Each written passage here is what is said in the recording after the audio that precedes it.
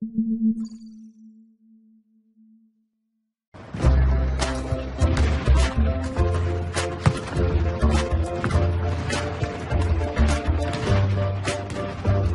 la passione per il basket da- dall'età dell'adolescenza. All'età di 20 anni ho fatto un incidente dove eh, purtroppo grave e ho perso una gamba e da lì ho dovuto abbandonare questa idea di voler partecipare a gare più importanti.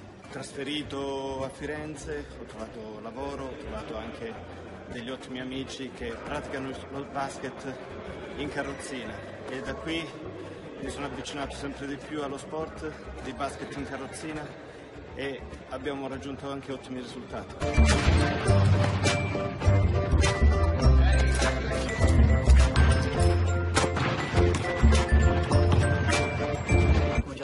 Basket eh, all'età di 8 anni e fino a due anni fa ho fatto sia basket eh, insomma, per normodotati, avendo avuto la possibilità, e basket in carrozzina.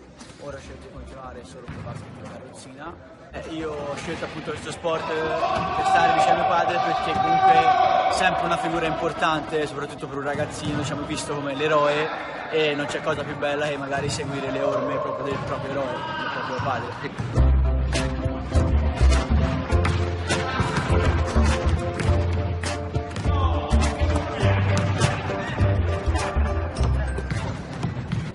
è stata una grande vittoria per me ritrovare questo sport anche a seguito di questo incidente che ho avuto. Nel basket, eh, nello sport del basket ho ritrovato veramente eh, l'esplosione delle emozioni, quindi mi è servito, mi, mi è, servito, mi ha aiutato a- ad avere un approccio migliore anche nella vita quotidiana. L'esperienza di basket con mio babbo sta andando molto bene, abbiamo giocato anni insieme e adesso siamo in Serie B e lottiamo addirittura per il passaggio in Serie A.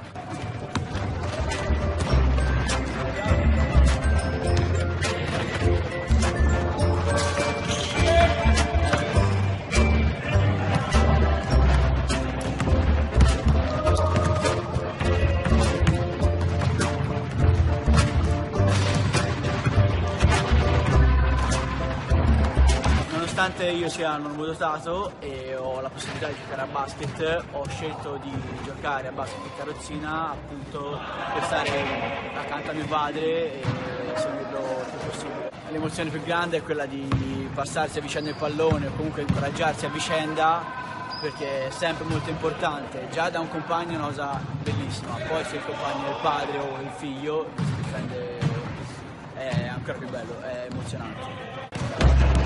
Thank you.